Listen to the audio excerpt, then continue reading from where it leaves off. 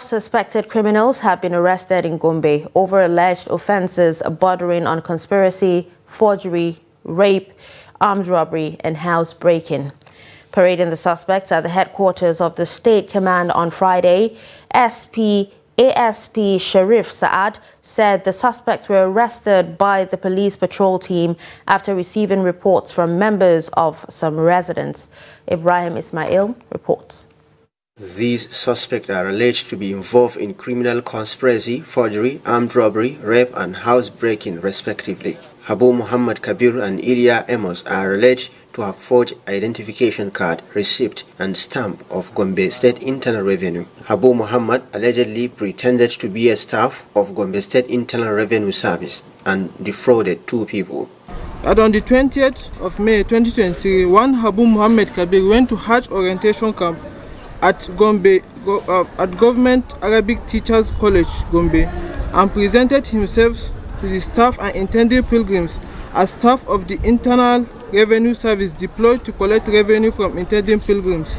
Upon receipt of the complaint, detectives from Gombe Divisional Division swung into action and succeeded in arresting the suspect.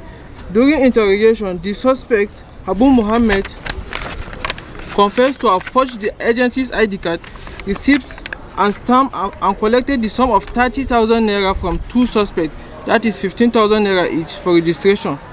The Gombe State Internal Revenue Service battles impersonation coupled with other impediments against its operations. We have been encountering a lot of uh, challenges in this domestic revenue mobilization.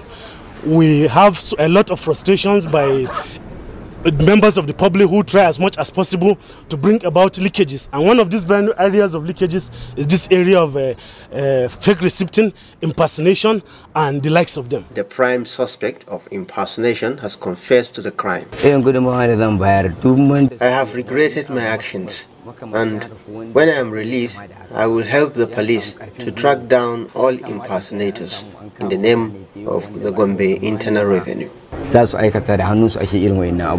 The command recovered cutlass, phones and a laptop from the suspected armed robbers who are terrorizing the state capital. All suspects will be arraigned in court as soon as the police conclude investigation. Ibrahim Ismail, Trust TV News, Gombe.